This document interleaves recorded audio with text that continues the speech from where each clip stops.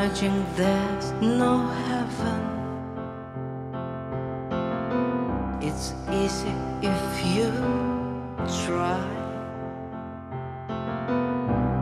No hell below us.